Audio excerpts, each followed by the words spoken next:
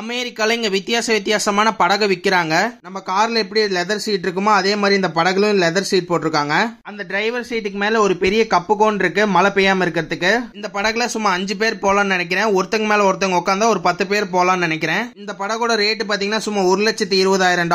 ஆமா அப்படின்னா ஒரு கோடி ரூபாய்க்கு மேலே இருக்கும்னு நினச்சிக்கோங்க இந்த படகை அவங்க வீட்டுக்கு முன்னாடி ஒரு தள்ளுற வண்டியில் வச்சிருப்பாங்க அந்த தள்ளுற வண்டிக்கு ஒரு லாக் இருக்கும் அந்த லாக்கை அவங்க காருக்கு பின்னாடி மாட்டி இந்த படகை கடலுக்கு பக்கத்தில் எடுத்துகிட்டு போவாங்க